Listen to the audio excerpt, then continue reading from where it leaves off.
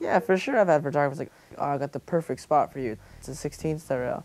Like, yeah, I'm down to skate it because sometimes it is fun to skate like a really big rail to me. It could also be like, oh, I got this sick ledge spot. You guys want to skate? I'd be like, yeah, I'm definitely down for that. It doesn't matter. Like the feeling of rolling away from it, it's just fun. First video I saw was Misled Youth. That's like what I saw skateboarders doing. What was around me was like rails and stairs. So I was just like, that's what I want to skate. I just want to skate. Leo gets down.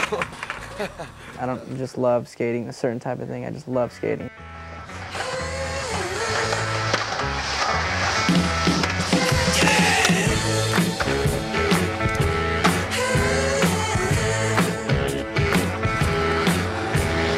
I was walking down the skyway my way